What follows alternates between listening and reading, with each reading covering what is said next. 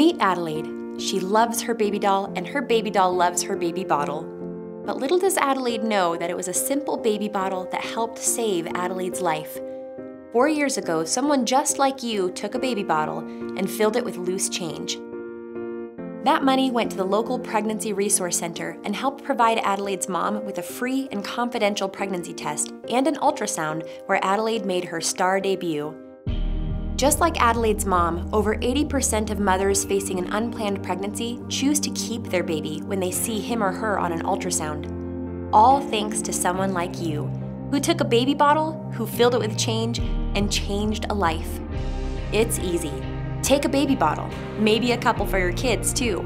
Find change around your house and add a little more each day. Bring your bottle back on collection day and be a huge part of changing lives. Does my bottle have to be full? No, your gift will help others no matter the size. What if I lose my bottle? Please feel free to bring your donation on collection day in a Ziploc bag. And if you do find your bottle later on, please drop it by your church or our center. Why am I giving? Because of your generous support, we are able to reach men and women and their children with the life changing power of the gospel. Thanks to you, we get to save lives, literally and spiritually.